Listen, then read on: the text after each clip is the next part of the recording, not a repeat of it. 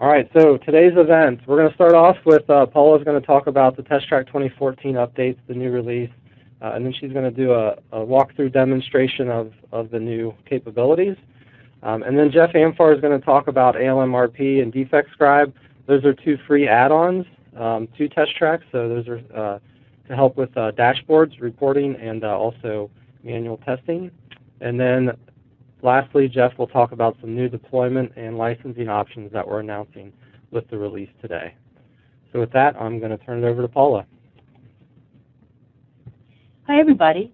I'm so glad you could be with us today. Um, this has been an exciting day for um, for me, in particular, um, being um, in charge of, the Test Track product, um, because with this release with 2014.0, we are uh, really delivering our brand new web client. Um, so before we get to the demo, because I know if you're at all like me, that's really um, what I want to get to. I just have a few slides I want to get through uh, because I think it's really important as, as we're looking at, here's this brand new web client, uh, to take just a moment to look at what the goals were for this web client, um, a little bit of why we made some of the decisions that were made. Um, and um, so just jump right in. I think if you've used the web clients for Test Track before, you um, knew you were using um, special purpose tools. And over the years, um, TestTrack really has grown so far beyond just being a single purpose uh, um, application. Uh, so you do so much more, or you can do so much more if you decide you want to, than just bug tracking. So it was important, we felt, that our web clients really stepped up and give you that single source um, experience that you get with the native or the desktop client.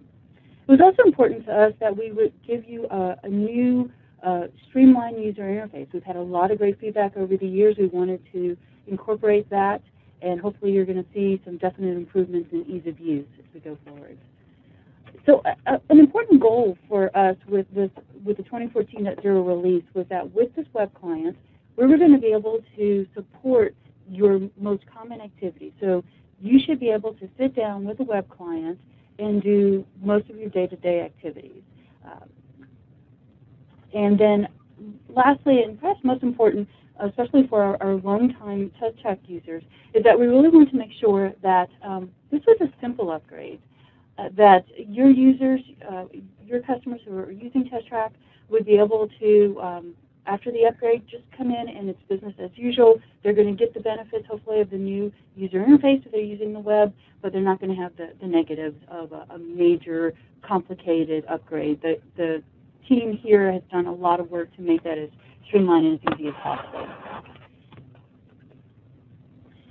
So it just a, a little bit of behind that, if you are, prior to Test Track 2013.1, um, you are and you're interested in using the web client, you're probably using one of three or all of these applications. Test Track Pro, which is going to let you do your issue defect tracking. Test Track TCM, which would let you use a web client to record your test results. And Test Track RM Reviewer, which was spe specifically for doing um, requirements reviews, requirement document reviews, that sort of information. So it could get a little complicated if you have somebody, like we increasingly have, the, our user population is using more than one area of test track, that um, which application do I use? So now you don't have to worry about that. When you upgrade to 2014.0, um, all of that is taken care of for you. You have a single user interface on the web. So I, I want to, I, this is a special slide because it is a significant change. After the upgrade, you no longer have these other applications. Um, you don't have to worry about cleaning it up. The, the upgrade tool is going to handle all of that for you. So now, Test Track 2014.0. Um, one of the most requested features that I was hearing was please give us folder management on the web. And Test Track 2014.0 definitely delivers uh, that really powerful, easy to use, we think, uh, uh, capabilities for dealing with folders.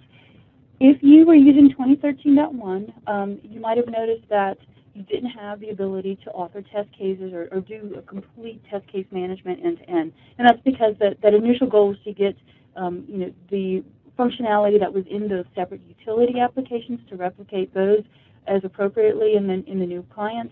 Um, and now here with 2014.0, you've got full end-to-end test case management, and then also some significant enhancements to the requirements management capabilities. So you really can stay inside this new web client all day long. Um, and that brings me to a list of common questions that I've been getting over the last uh, weeks and months as I've been talking to a lot of you.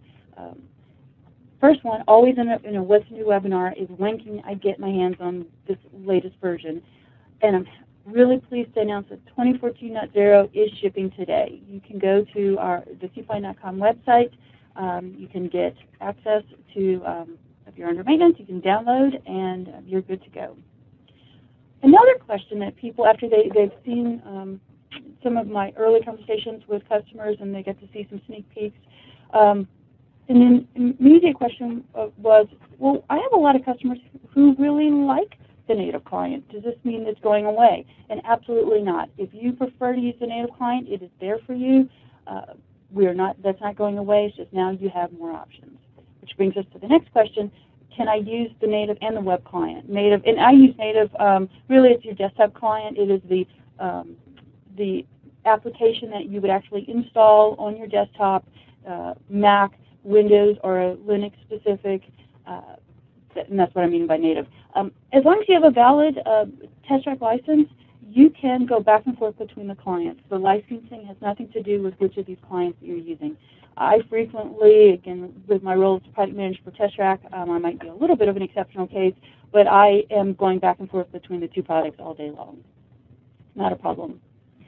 Another question that I alluded to earlier that the three legacy web applications were being replaced with this new web application.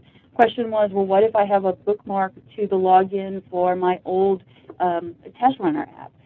That's not a problem. Uh, your users really can follow their same bookmarks they had. They're going to be redirected to the new web client. No problem.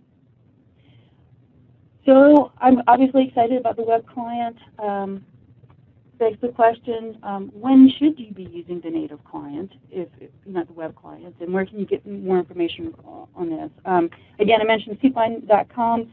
Um, if you go to the download page, you're going to get two very important documents.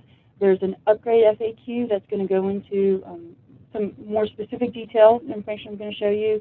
Um, also, the release notes are going to give you a, a, lot of good information, and the website in general is going to give you, get you to what you need to know. But I want to spend a little more time on when you should use the native client because um, the web client, again, is really, this 2014.0 release is focused on the needs of um, your average user who's in Test Track um, every day, the, those core set of, of function, of features that they're using. But if you're doing administrative tasks or you're configuring Test Track in some way, those are much less frequent activities and if you're doing those kind of activities, you should be using the native client. In fact, as a, a quick shortcut, if you if the thing you want to do can be found on the native client under the tools menu, you should be using the native client. There are a couple of features that um, really are tend to be more specialized use cases, a little bit more of a power user scenario that are not in the new web client. We do anticipate um, over the roadmap for Test Track that we will eventually be adding these. I'll be looking to you guys to provide feedback on um, what of these features you find are really missing that you want to want to use. But um, please definitely give the web client a chance and see how much um, you can do starting today um, that you're going to find available in it. And enough slides. I want to have all my time for demos. So I am going to, give me just a second, let me um, switch over to my demo machine. Uh, we will start the demo.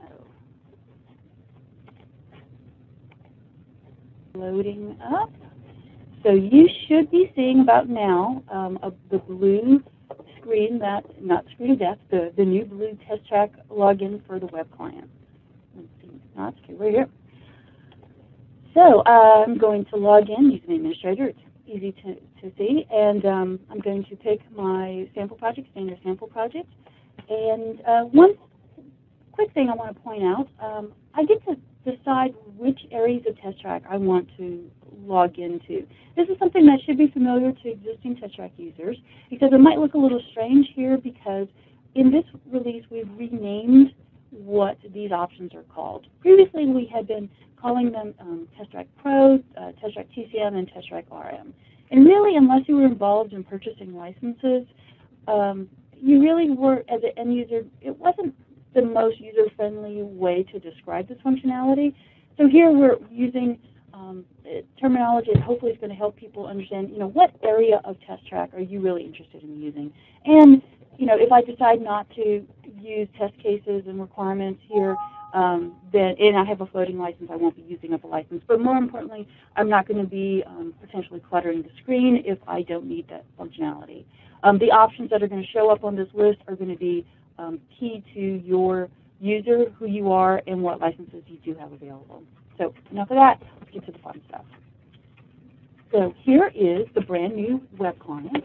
Uh, quick uh, little drive-by around the key uh, navigation areas.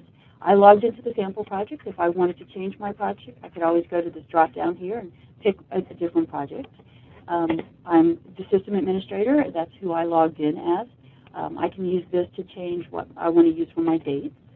Um, down the left side, this is a key navigation area. Notice these first three items, issue tracking, testing, requirements, correspond to those three major areas. If I had decided not to, to say select testing, then this entire testing portal wouldn't have even appeared in the user interface. Um, folders, reports, all very important stuff for um, lots of our users. And I'm pretty much for the rest of the demo, I'm going to take you through all of these major areas. One thing, we want to give you a lot of flexibility for your screen size, a lot of um, different um, screens come in a lot of different sizes and a lot of different devices nowadays. So um, notice I was able to collapse this. You're going to see that motif used in a lot of places in the user interface. And now we're going to get into the middle. So I'm looking at an issue list. Test track users pretty familiar with issues, so I don't want to spend too much time here. But um, notice that I've got my columns. I can click on a column header to sort. I can um, shift click to secondary sort. I can add additional columns. So here I can browse and I can see all the columns that are available, my custom fields, event fields. Uh, but a very nice usability feature of the new web is the ability to just start typing. So I know somewhere in here is a date modified field. And all I had to know was a piece of the name of that column of, of that field and it was available to me. So now it's here. Let's say I want to just drag it over to a different uh, location. All of that, that's fine. So a lot of that ability to manipulate your list windows that you're used to um, having a lot of capabilities with on the native client, you're going to see that in a similar way. Maybe not the exact same UI, but the same intent you're going to be able to see on the in use on the web client. So I can sort. Um, notice up here, if I click perhaps on um, some of these other words in the metric tab, these correspond to your user tabs. Notice that when I clicked on metrics, for instance, I have a different set of columns that are being displayed. Also notice in this list window, I have two copies of fixed count and risk score happen to be calculated custom fields. That was released in Test Track 2012.0. Really powerful stuff I hope you um, are using. Um, but the point is that because these are numeric columns, I'm going to automatically see the column totals for what's, um, the, what's passing the results of the, those filters.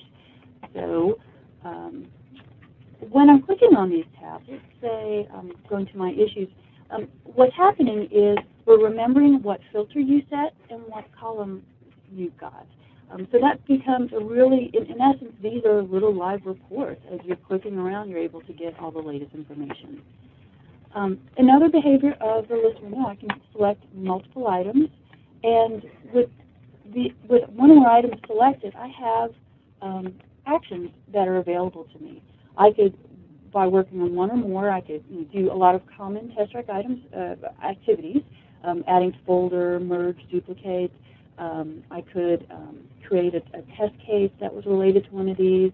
Uh, my context reports are available to me. Again, all of this is running off of what's selected. Workflow, very powerful, very important that you can select more than one item to do your workflow. So in this case, I'm going to assign uh, these two items to John. Notice the um, type ahead. Again, you're going to see type ahead being used all throughout the web application very heavily. It's been a really great usability feature for our customers. Um, so now those two items disappeared off the list because they don't pass the filter for what's showing as my defect.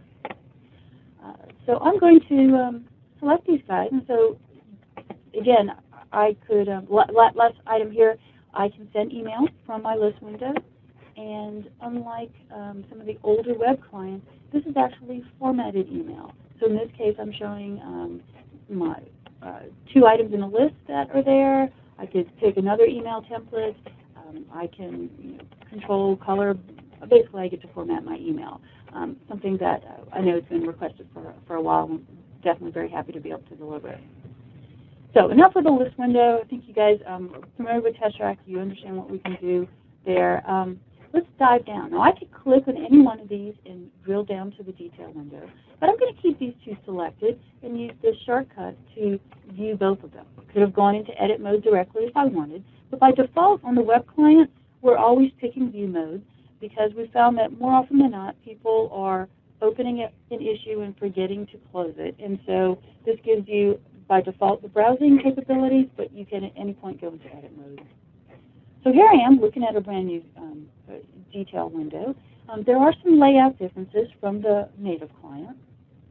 Some of the feedback that we've tried to take into account is that people wanted um, better, better visibility of their custom fields and the core detail of the item. So as you can see here in this general section, I've got um, you know, product, my uh, basic fields for date entered. I've got my list of custom fields that happen to be for the sample project. You're, it's very likely that you won't have these fields unless you're working with sample projects. Um, and then I've got my, my standard tabs, um, my detail uh, in my reported by records, my workflow, which is um, going to look a little bit different. I can see at a glance all of my events, but I can also expand all and see all the details that have been provided in this event. I'm going to now look, using the controls at the bottom, I'm going forward to the next issue, which is particularly handy um, if you do a lot of issue triage sessions um, where you're all sitting around a table and you need to get through this pile of defects to make sure they're all being dealt with. Um, I really like being able to page through those and see how many I have left. Personal thing that really makes me happy. Um, anyway, so it's got more the, the um, workflow. I can look at um, work items any uh, time tracking fields that I might have been using. Um, that information will be here. Um, also, my workflow diagram. I can see that this issue, issue 17, is currently in the open state because it's orange. I have some hints at where what states I could end up in. Um, I could also, if um, been given the security, I can view the entire workflow. Sometimes that's helpful for users, particularly your new users who really are getting used to the process that you've that you're working with. It's not just, you know, how do I use TestTrack? It's what do you expect me to do from uh, who gets to, um, what, what, what's the next step that I need to take. So this can be very handy to be able to expose that entire workflow to users when they need it. Files, uh, pretty much what you'd expect, nothing special. Email, um, your tracked emails all going to appear here. Um, traceability tab, this might seem a little different. Um, native client users are used to seeing just the links tab. We were able to expand this on the web client and um, actually provide uh, a few different views. So here you're seeing all the links. I can expand everything in a common, a common user interface motif that I can expand everything if I need to. And I can see all the details at once. I can hover over here and see um, the, the summary for this item, resize. I can click through and actually go to that business requirements all, and I'll stay in the same um, application. I can look at my impact analysis. Now, this is a brand new feature that's actually um, only available initially to web users, and that's giving you the ability, let's say I want to see what's downstream, if, if um, what would be impacted if a change was made to issue 17. So I can see all of that right here. I can see that there, there's an issue and a business that's directly related to this. If I expand this, I can see there's even in the indirect relationships that are all in, in place. Folders, folders for this item are going to show you what folders this item currently is in. I could move this item from a folder to another. I could remove it. We're going to spend a lot more time with folders when I get to the folder portal, so um, we can move on. Um, and history, old favorite history, um, very handy to be able to see what what has actually changed. You can always run my little change report see now the risk score is, is zero.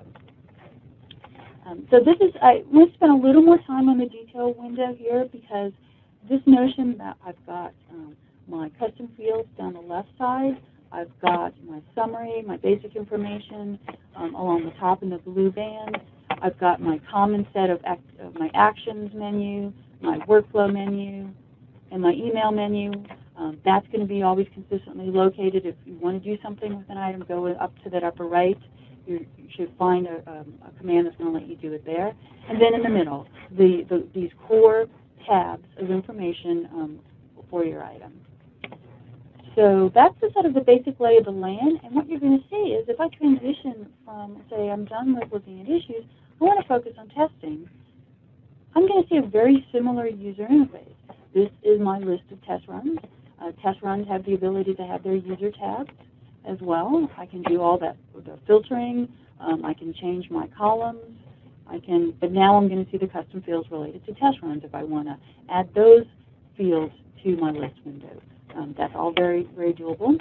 Um, and test cases, rinse, repeat, same, same story. So once you learn how to use um, the functionality in one area, if you decide that or later on you, start using the functionality in other areas of test track, the learning curve should be very low. You would really only need to be looking at those areas that are very specific to test cases, what makes a test case unique. In fact, I'm going to drill down on, um, let's look at a test case. So in this case, you're going to see that I've got, again, overall layout is the same.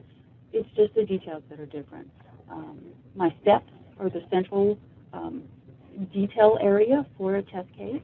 I've got my steps, I've got my thumbnails, um, all of this is in place here. It's really, um, one of, I've had really good feedback on putting these fields on the left. I can control if I want to see more room. Maybe I've got my um, my description, maybe my preconditions uh, have a lot more detail in them. I can take the entire screen if I want to um, to make sure that I've got all of that space. But then when it's time to actually work on writing my test case or, or running my test when it, it when we're doing that, um, I can actually have, say, my variant information available to me while I'm looking at my steps. I think that dramatically reduces the number of, of clicks that you need to do to get to your information. Let's focus in on the steps area.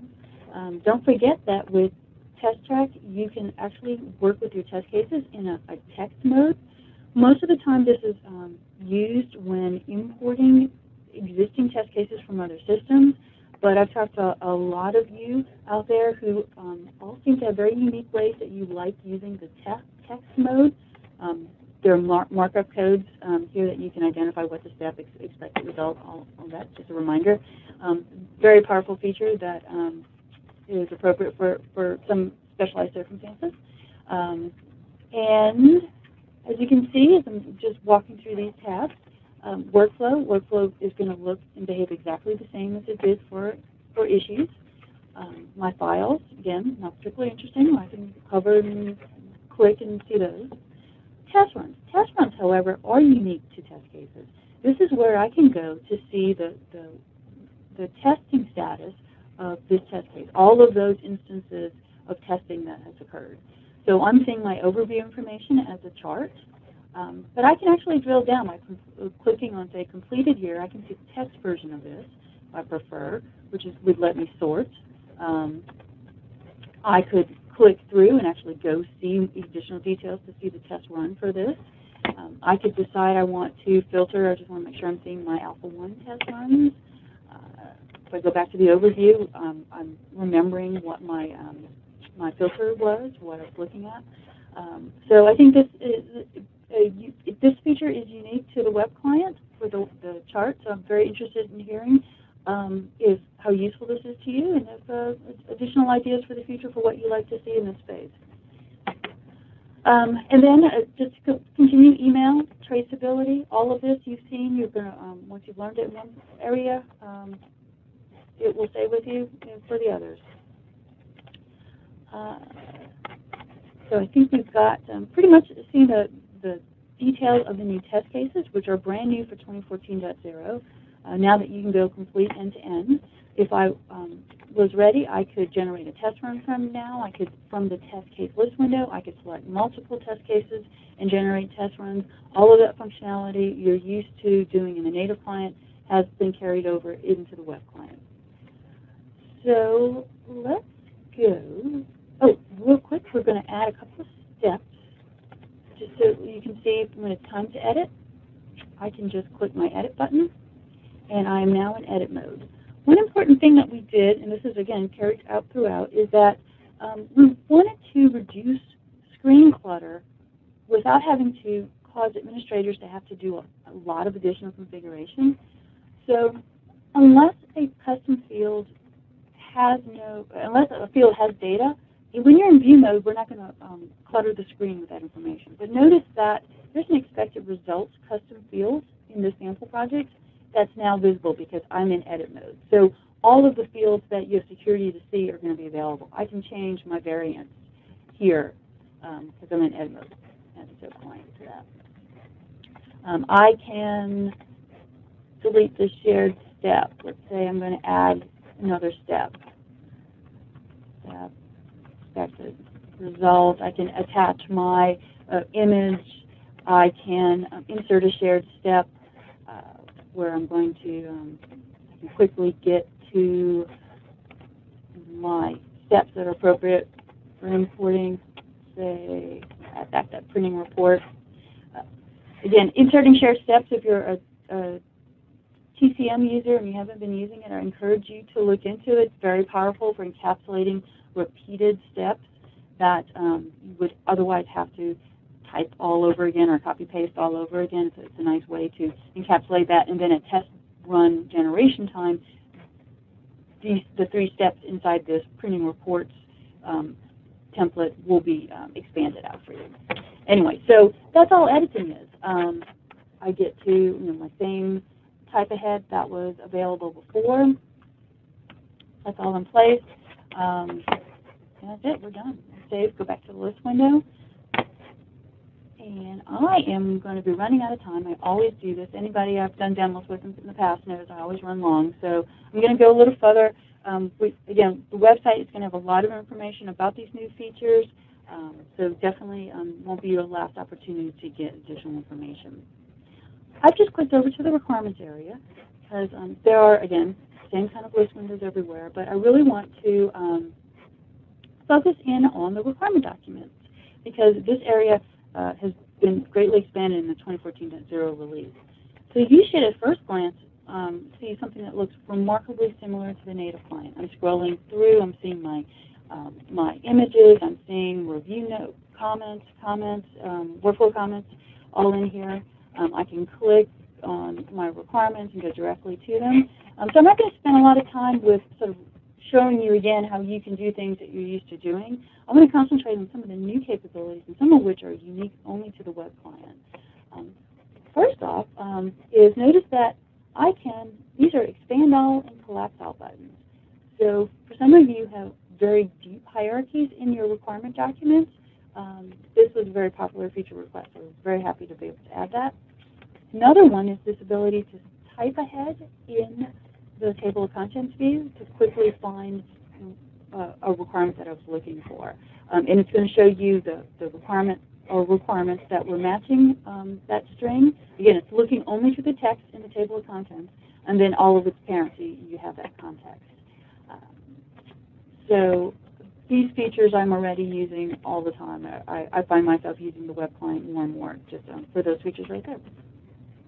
Uh, so we've got that. Another thing that people are um, commonly used to doing is say I want to edit, um, make some minor changes to this requirement in place. I didn't want to actually leave the requirement document view because um, all I wanted to do is say, you know, this one be we should do it, but it's not as important. And oh heck, let's say this is a low difficulty, and I have to at least fill in all the the drop downs. Um, so I can make these changes here, and I haven't left the whole document.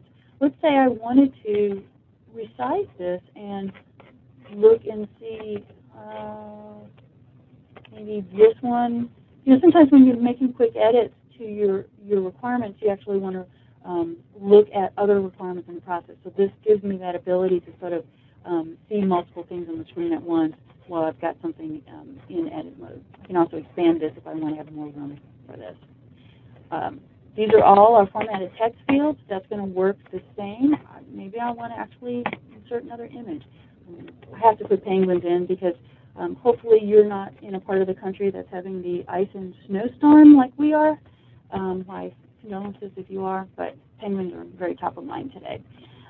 So I can insert my images. Um, this is going to look the same no matter which client I use to, to author this requirement. All of that's um, going to be in place.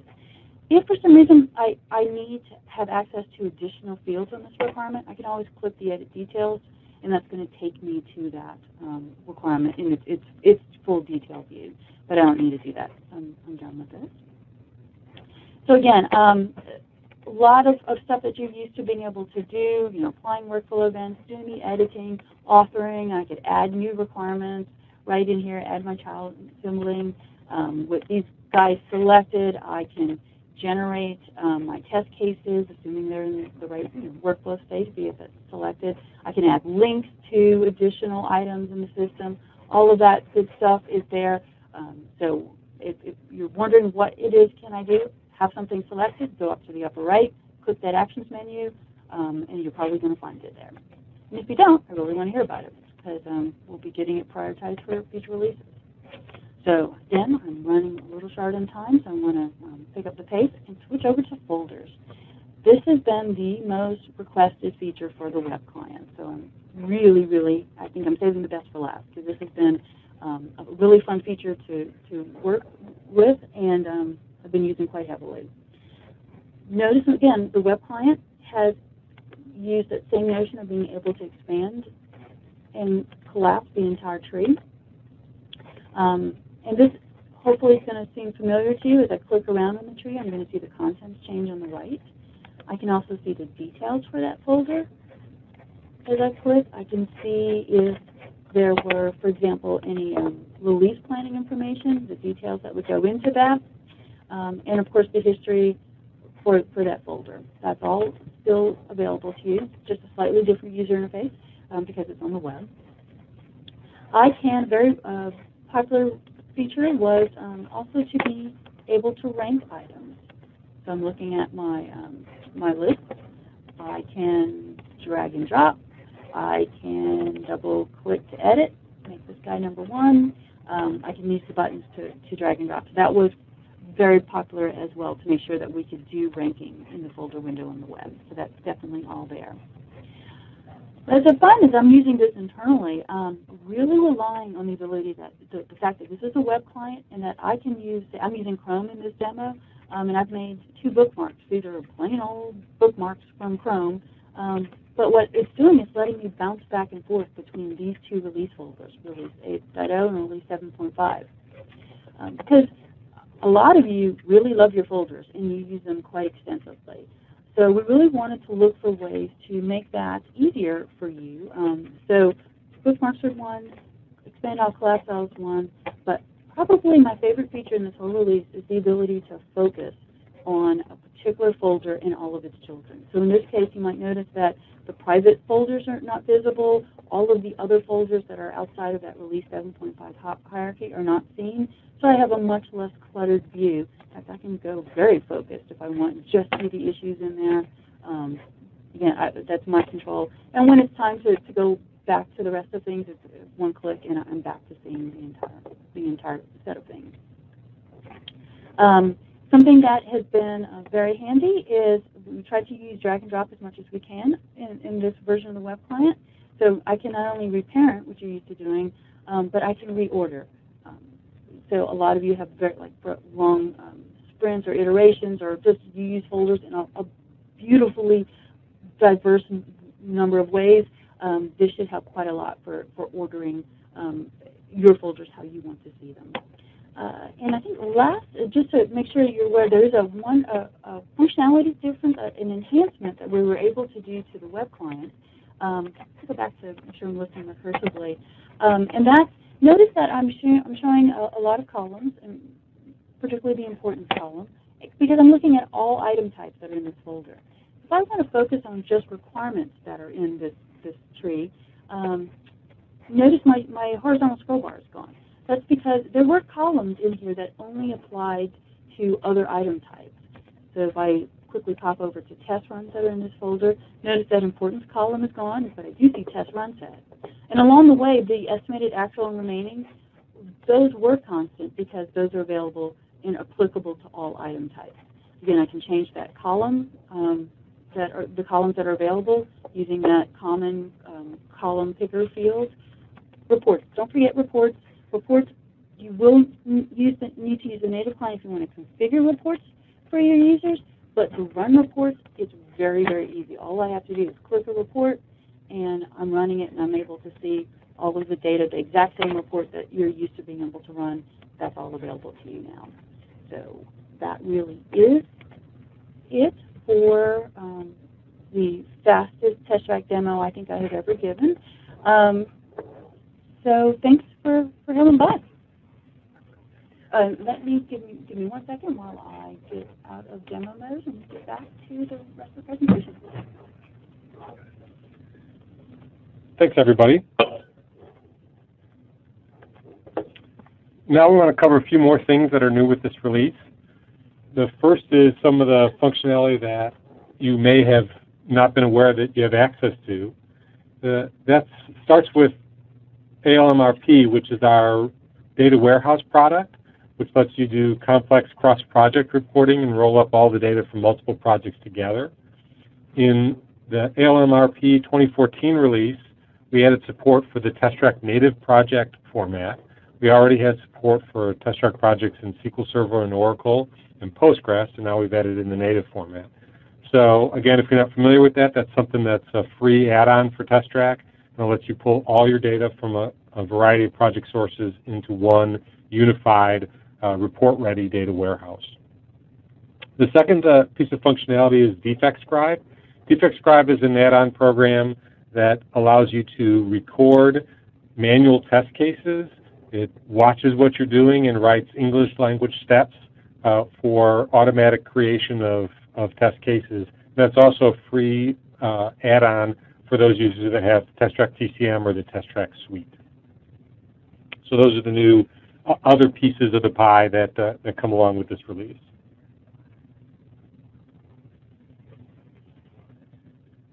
Uh, now I want to talk about a couple of new deployment and purchasing options that we're excited to announce today. In the past, TestTrack was really only available as a fixed license that you installed at your location, and you purchased it, you owned it, it was yours for life, and then you could pay maintenance on it if you wanted support and upgrades over that, but it was really your permanent license to own. With this release of 2014, we're very excited to announce two new options for purchasing TestTrack that should help people with some other circumstances or layouts that they need. The first is what we're calling subscription licensing, and this is similar in a lot of ways to the current licensing model. So it's the same software and the same features with a much lower cost. And the difference is that the license is only good for a fixed period of time, a year in this case. So you can renew those licenses every year if you need to, but you don't have to if you don't. You can mix and match those with the traditional licenses, which gives you a lot of flexibility. So for example, if you have a, a core set of users that are always using the application, but for maybe a 10-month project, you're going to add some additional people on. You could buy a set of subscription licenses for them and not have to pay the full cost. And then in the next, at the end of that year, you could choose to renew those or not, but not have had to pay the entire cost of a TestTrack license. There's no minimum number of users that, that you can have with this, and it includes the full suite of TestTrack functionality. So RM, TCM, and Pro, all those areas are all included with this license.